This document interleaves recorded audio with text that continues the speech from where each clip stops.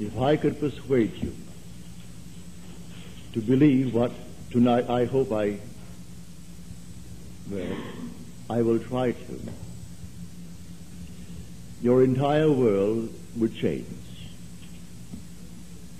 You hear the word God, the word Jehovah, the word Lord, the word Jesus, the word Christ, and you think of something other than yourself, one that is greater, one that you would worship. Tonight it is my purpose to show you that God and the eye of man are one.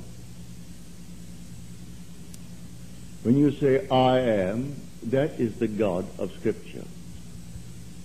Confined as you are, you think, how could it be? God created the universe and sustains it. And here I am, like a little worm, three score and ten years, and then I vanish. But now let us turn to Scripture. We turn now to the 16th chapter of Matthew. And the question is asked of the disciples, the followers, those who have heard him.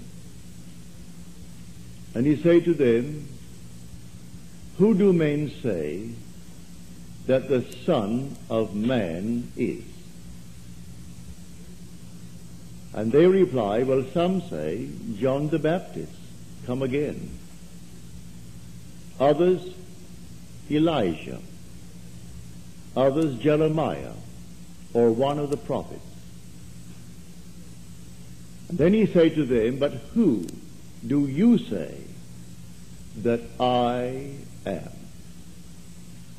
And the spokesman called Peter answered and said, Thou art the Christ, the Son of the living God.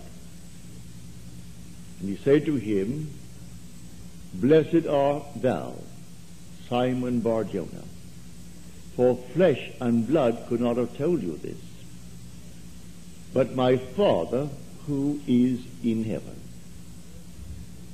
So here he equates the Son of Man with the eye of man, not the organ that sees or through which you see, but your sense of awareness.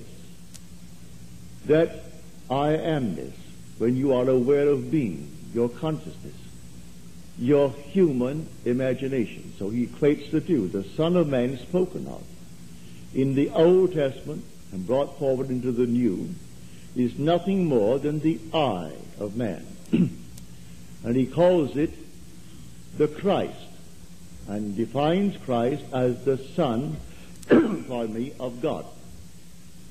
Now we find Christ being defined in the New Testament as the power of God and the wisdom of God. So the eye of man is the power of God and the wisdom of God. If man does not know it, well, then he will not exercise that power. He will not exercise that wisdom. So tonight I am trying to persuade you that when you say I, before you say anything, that that is the power and the wisdom of God. And you can't separate the power of God and the wisdom of God from God. So you will say in the end, I and my Father are one, for he is called the Son of God. Now we are called upon to test this, if it be true. Can we test it? I hope you'll put it to the test.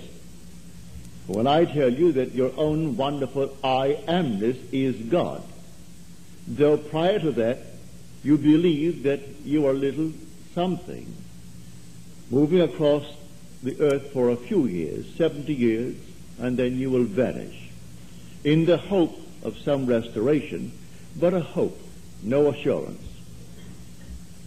Well, now I'm going to tell you that you really are God. Your own wonderful consciousness your human imagination. That is the God of Scripture. And there is no other God. Imprisoned as you are in these bodies of flesh, You did it for a purpose.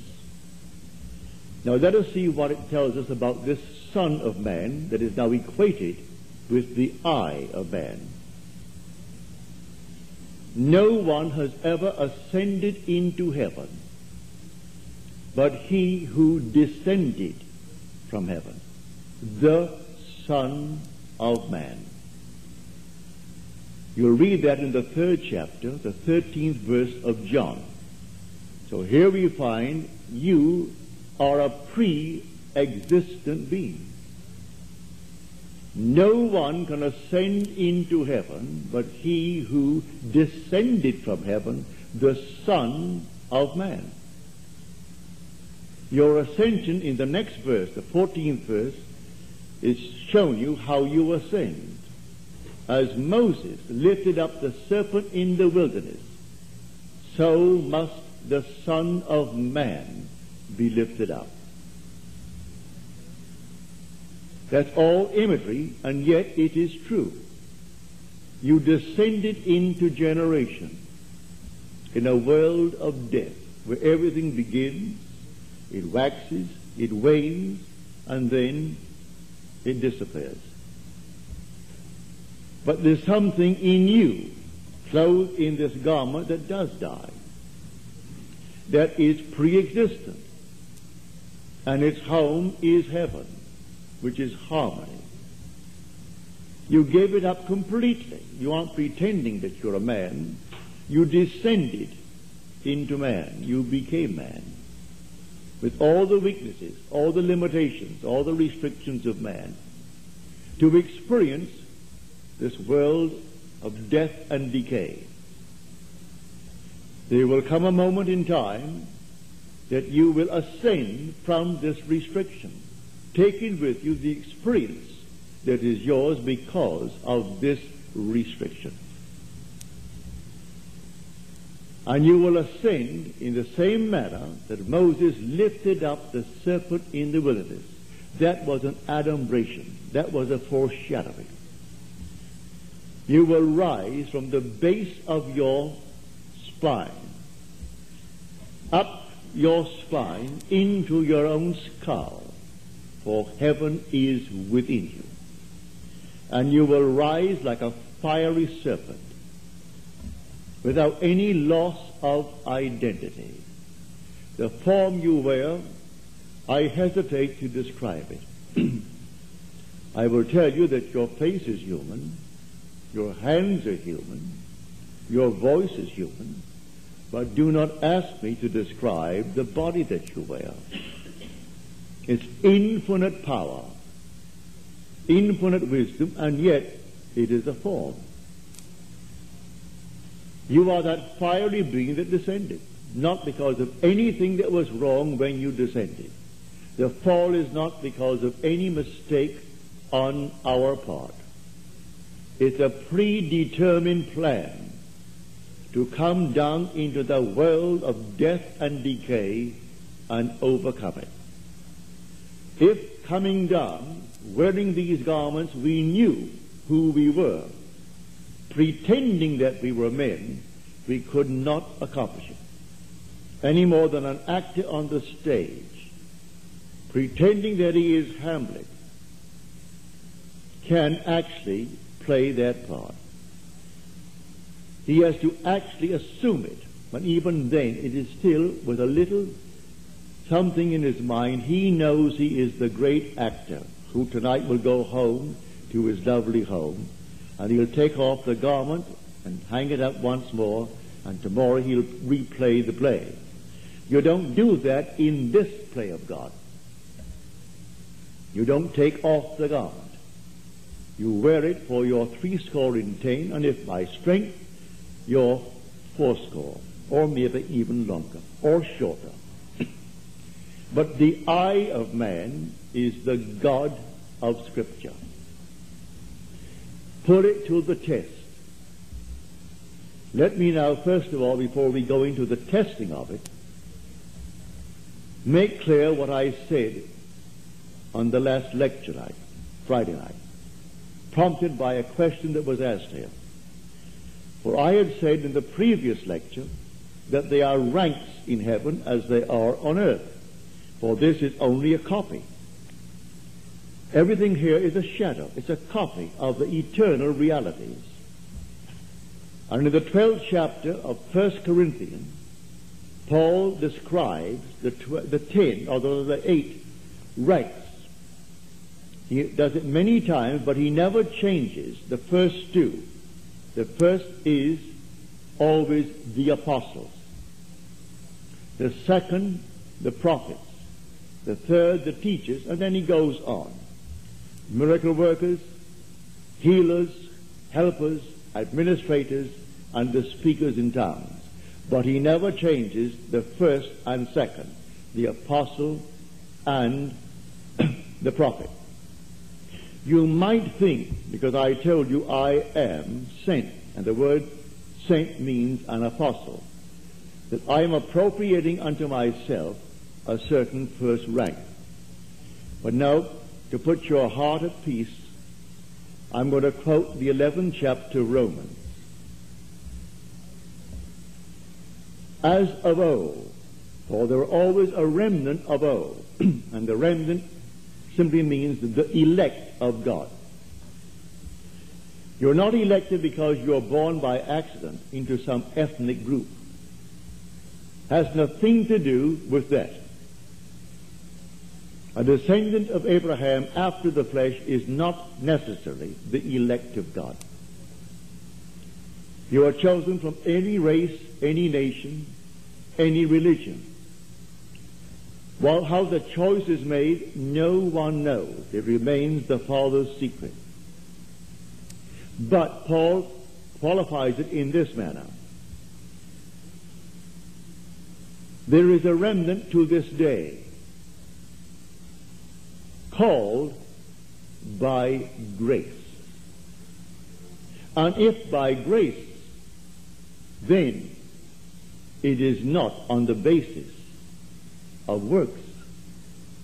Otherwise, grace would no longer be grace.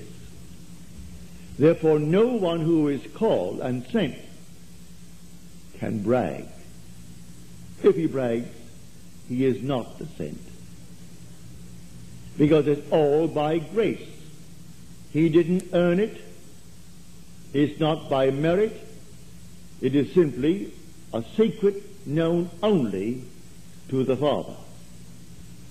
So when we are called, incorporated into the body of infinite love, who is God, and then sent, let no one who is sent raise a finger to brag, to boast, for it is all by grace. Read it in the 11th chapter, the fifth and sixth verses of Paul's letter to the Romans. So now I have stated that. So do not think for one moment when I tell you I have been called and sent that in any way I am trying to act superior. For there is no intrinsic superiority to those who are called. Now, he uses an analogy, which I do not think adequate, but you can read it in the book itself. He uses the analogy of the human form, that not all are heads, eyes, nose, teeth, and so on. But that is a weak analogy. Nevertheless, he uses that to show you the different parts in one body. But now to come back to make this a very practical night.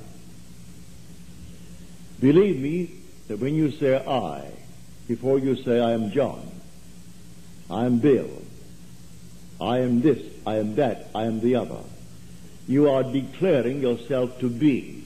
And that sense of being is God. That's God. Now what are you going to put on it? All things are possible to God. All things. You could say now, as you're seated here, after first affirming that I am, you could then assume that I am, and you name exactly what you want to be. if you believe what I tell you about your own I amness, and remain faithful to what you have assumed, that assumption will harden into fact. When you pray in the true sense of the word, you do not pray to any external God. That was my command when I was sent down with the blue bloods. Has nothing to do with the social structure of the world. It has only to do with church protocol, all external worship, all ceremonies, everything that leads the individual outside of himself. To put a little cross on the wall or the Magen David and then bow before it and see it as something external is not what Scripture teaches. Buried in the Old Testament there is a pattern. so he said, taking the twelve, we're going up to Jerusalem. And everything written about the Son of Man, which is the eye of man, will be accomplished. But they did not understand what he said. It was beyond their ability to grasp. He is going up,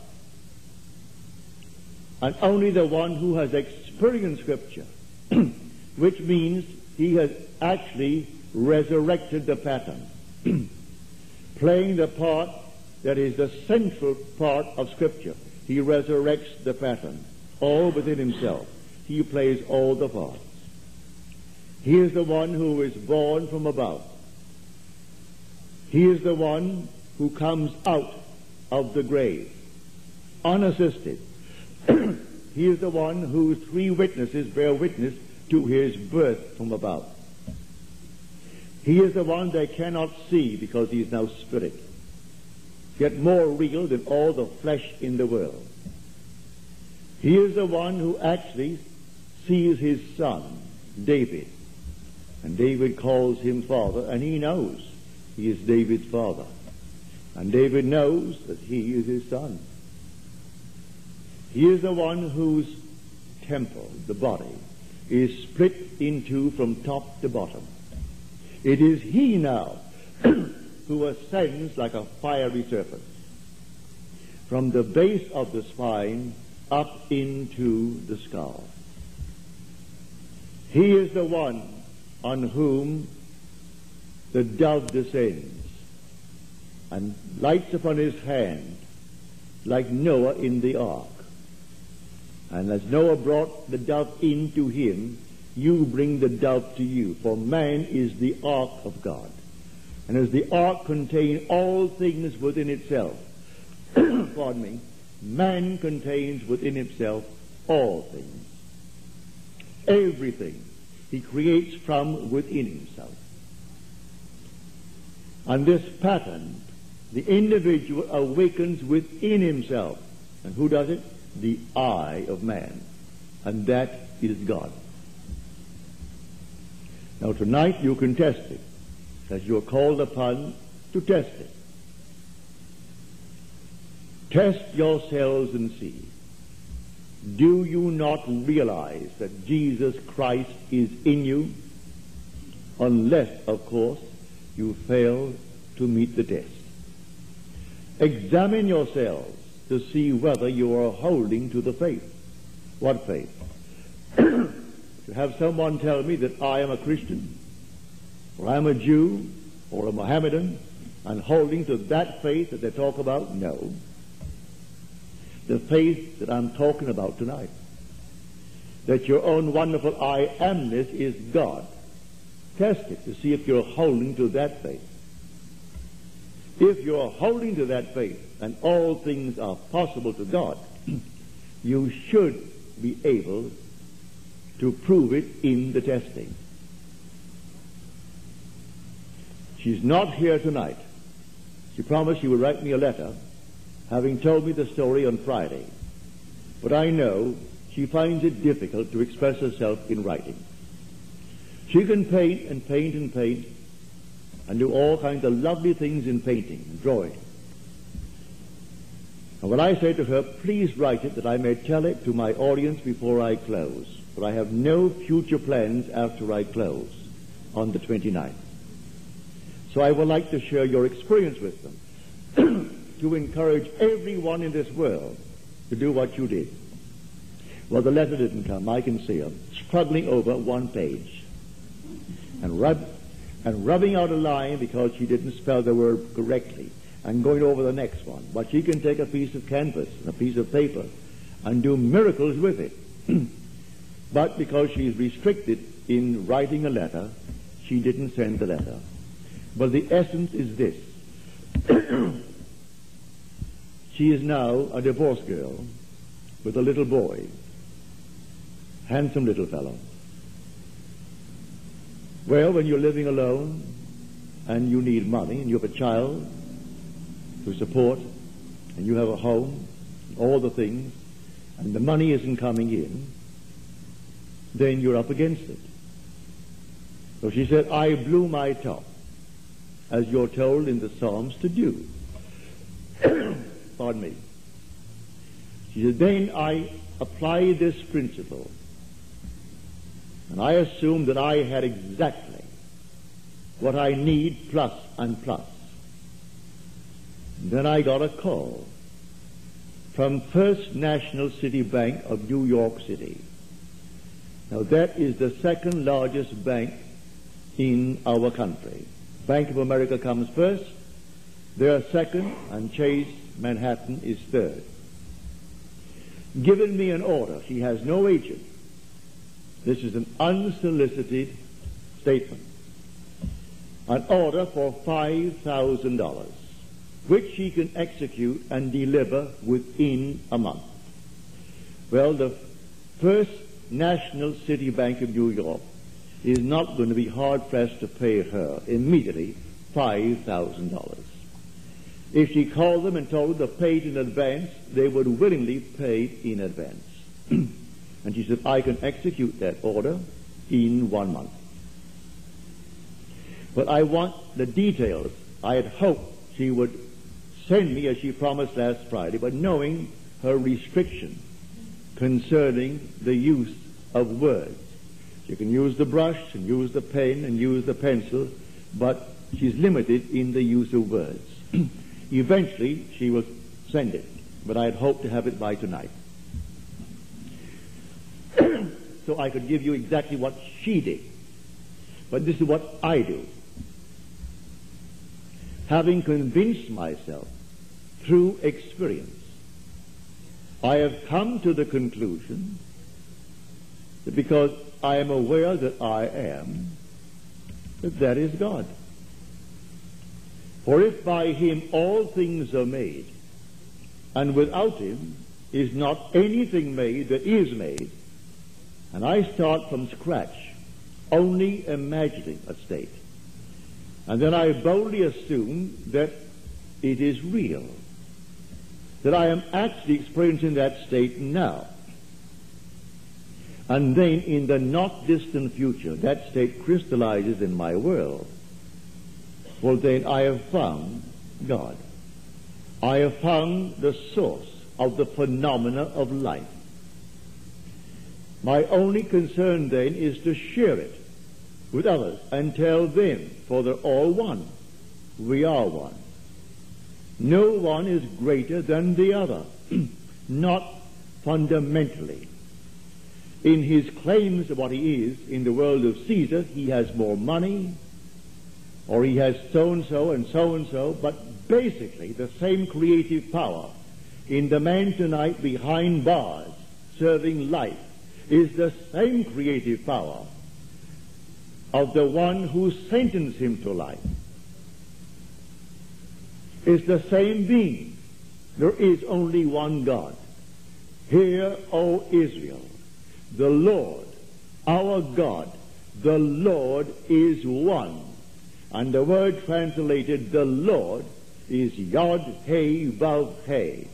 Properly translated is I am. When you go unto the people of Israel and they ask you, what is his name? And you claim that the God of Abraham and the God of Jacob and the God of Isaac sent you. You say unto them, I am has sent me. That's my name forever. And by this name I shall be known throughout all generations. But man finds it difficult keeping the tense. And so he speaks of thou art, or he is. And he never actually comes down to the fundamentals and knows that I am. I am the cause of the phenomena of my life, good, bad, or indifferent. I have to live with it and change my assumptions if I would change the world in which I live. But now, can I help a seeming other? I say you are myself pushed out. Can I help another? Yes, because there's only one. If your request of me comes within the framework of the golden rule, something that I would like done to me, then I can willingly help you. If you ask of me that which does not come within the frame of the golden rule, do not ask it of me. I grant you complete freedom to go elsewhere and go to anyone who will tell you they can do it in spite of what he said. Go ahead. But if anyone asks of me any request, all that I do is this. It's so simple.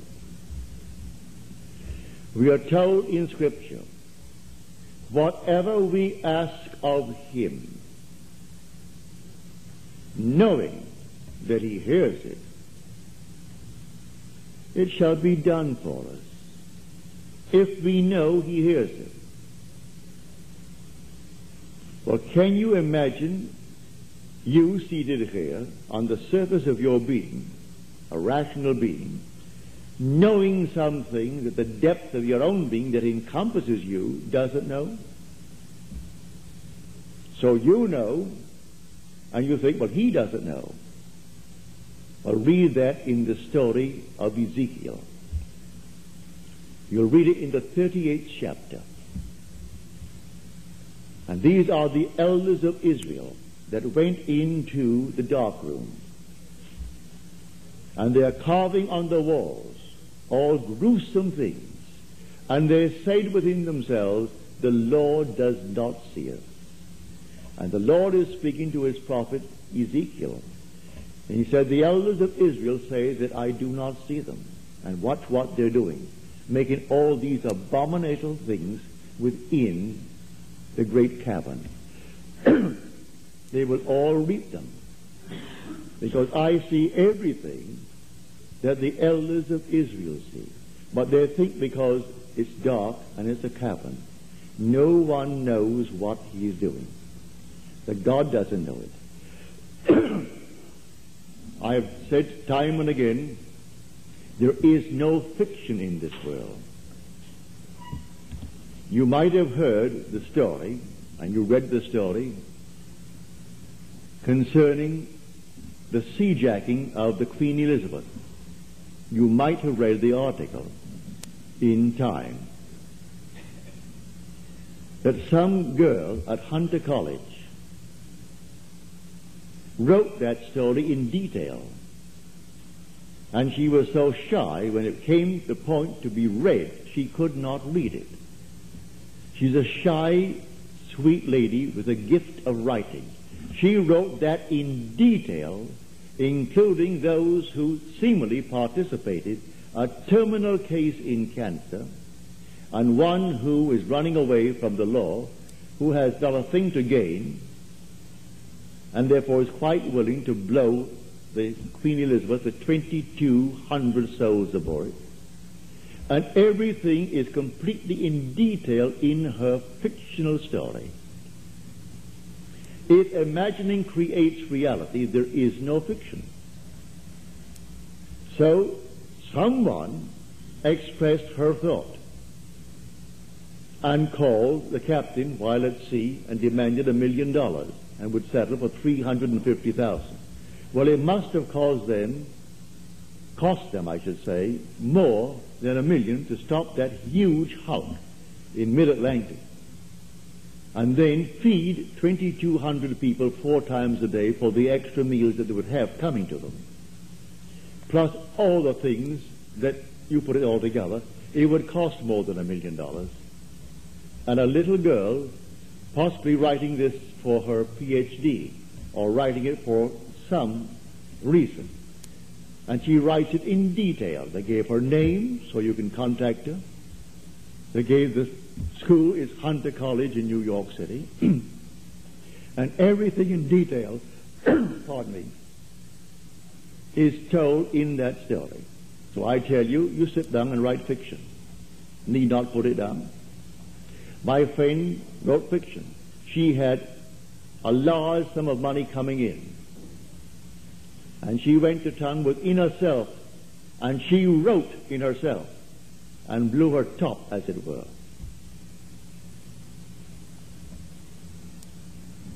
Thank you, Hattie. Thank you. Didn't drink enough tonight.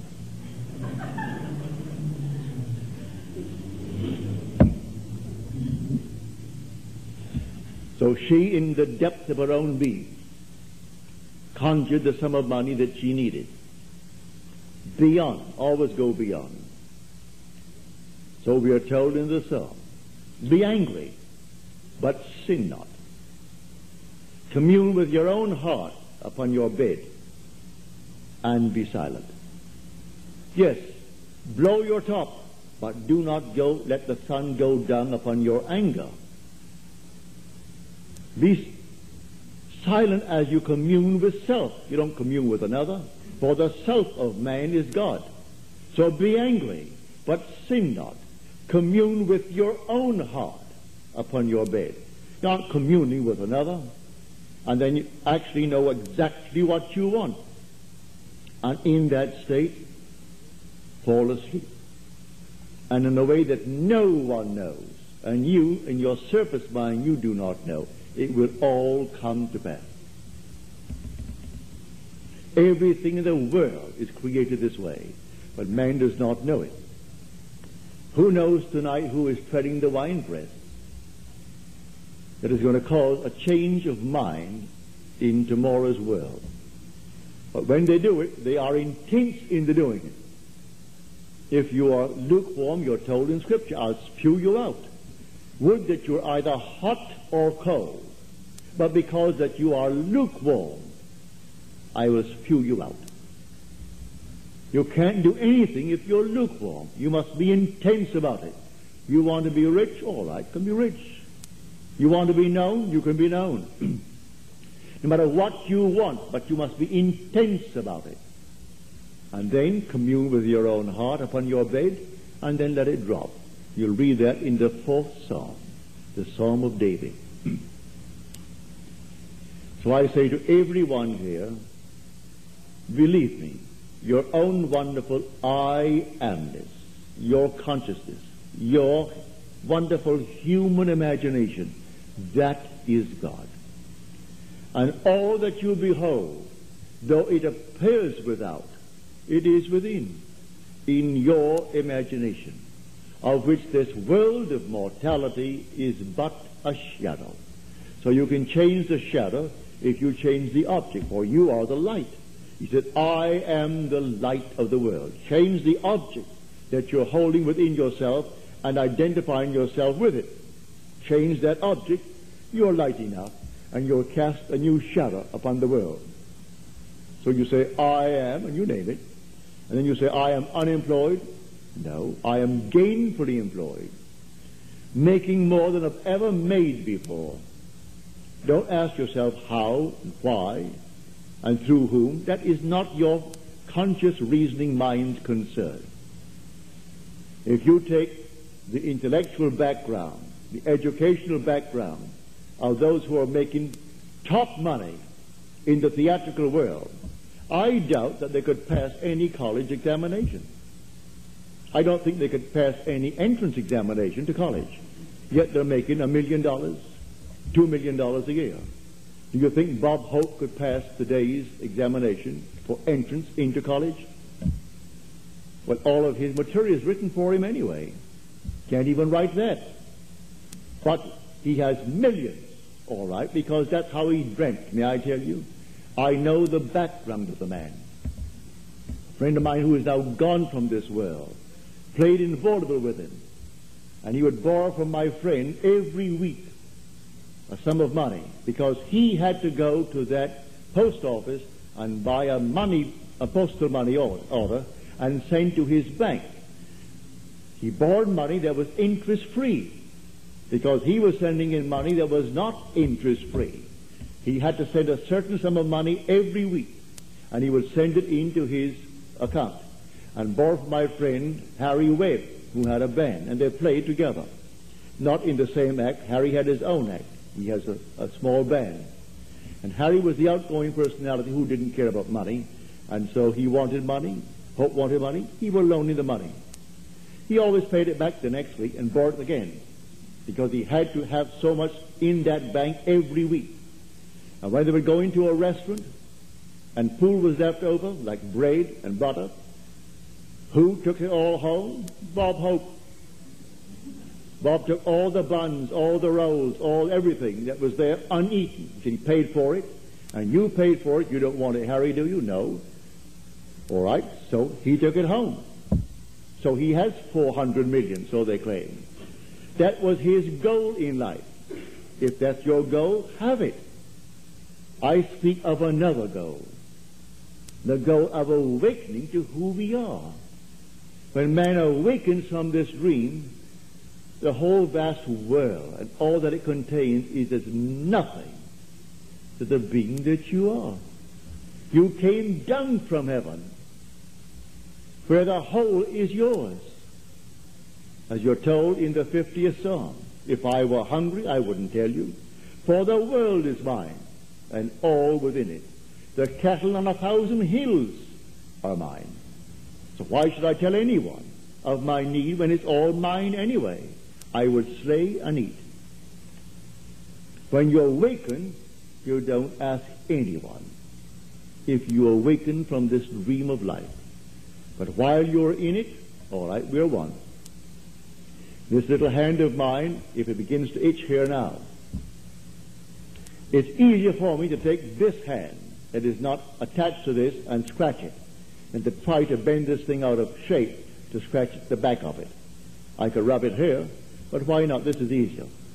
And take a part of my own being to ease the itch. Because there will be all one pushed out. So you can do it. Ask anyone that you trust. May I tell you, he isn't, if he knows how to pray, he isn't going to burst any blood vessel. He isn't going to get down on his knees and pray to any external God if he knows how to pray. He isn't going to beg of anyone in this world. What he will do, he will simply represent you to himself as one telling him that you have what you asked of him. And when he is satisfied that you told him that you have it, don't ask the second time for the same thing because he is not going to listen to you. He heard it, he is still hearing it, and he will continue to hear it until that which he has heard is perfectly externalized. So don't think you need several treatments. That's a lot of nonsense. Treatments for what? It either is or it isn't.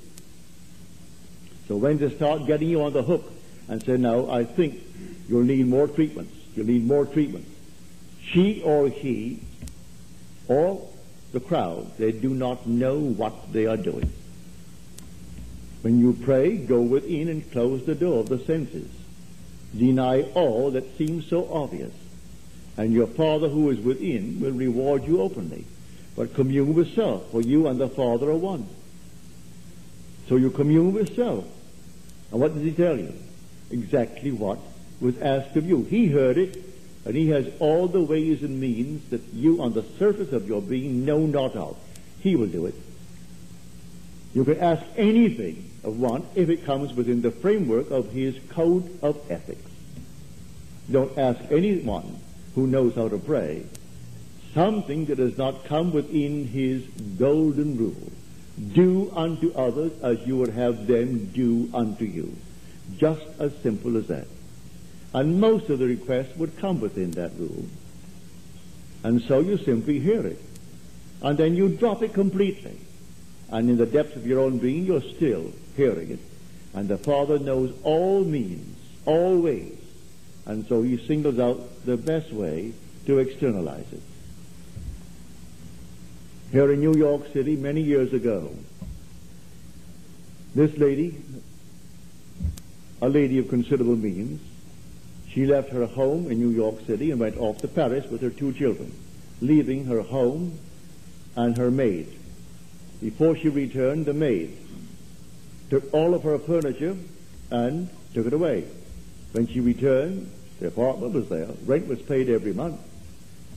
But there was no furniture, not a thing in it. She employed a private agency, told the police department, told all the authorities in New York City, and plus her private agency. At the end of a few months, they did not turn up one thing concerning that stolen property. She came to see me. I said, all right, you're seated there and I'm seated here in my apartment, aren't we? Now, you are not seated in my apartment. You are seated right now. Close your eyes. You're seated in your own apartment. And you had a grand piano? She said, no. I had a piano, but it wasn't a, wasn't, wasn't a concert grand. It was grand, but not a concert grand. And on it I had my pictures of my two children. and I had pictures of the wall. She told me what they were. And the furniture, I said, all right, refurnish that place as you left it. you have a memory. She did. Now, when I, when I stop talking, it's because you have refurnished that place to me. Now you're going to go in and you aren't going to see your apartment from my apartment. You're in your apartment. And you can feel your chair and get off your chair and feel the piano and see the children, the pictures of the children. And that's what you're going to do. She agreed she would do it. And then we simply broke the spell. What did it take? Two minutes? Three minutes? That week, she went to her bank on Madison Avenue. As she was coming out of the bank, she had a past history of a little mental state where she was put away for a while because she needed psychiatric treatment. And the bars on this window reminded her of her past history and therefore addled her for a while. So she came onto Madison Avenue and turned south instead of turning north where she should have. When she discovered her mistake, she was at the end of the block. When she got there and discovered her mistake, she looked down, and two very familiar ankles were standing right before her. She came up to the face, that's her maid. And the maid spotted it and started to scream. she went over to the maid and grabbed her before the light changed and hailed the oncoming taxi and said, You're taking me right now. And the maid who could have killed her, she was so big and strong, was so reduced to impotency because of the discovery. And the maid took her to the place where she had stored that furniture. She said, I'm not bringing action against you. I want my furniture. And she got it back into her own apartment within the week. A seeming mistake was the way the father laid her. All I ask is to go to the end.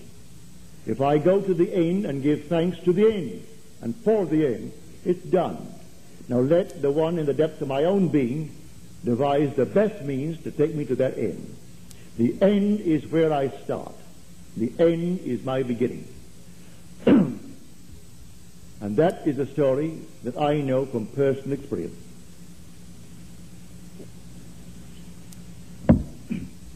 So do not attempt to devise the means and tell the one that you ask to pray for you how it should be done. He will lose all interest and turn his back and say, go elsewhere. You don't go into a doctor's office and tell him what he should do. If you go to him because you trust him, well then you either got to trust him and continue or you're going to leave him. Well, if you go to someone that you really believe who knows how to pray, don't tell him how to do it and what means should be employed in order to do it. He is going to go to the end if he knows how to pray. The end is where we begin. In my end is my beginning. And we're always ahead of our evidence. So I go to the end. I see the whole thing done and then drop it and let it happen in my world. So to come back, the I within you now, when you say I, no matter how little you have thought yourself so far, may I tell you, you are the infinite God. And when the story of Jesus Christ repeats itself within you, you will know it's all I. No one called Jesus is going to appear. He is not going to push any stone away from you when you come out of that tomb. And then you'll know the words of John.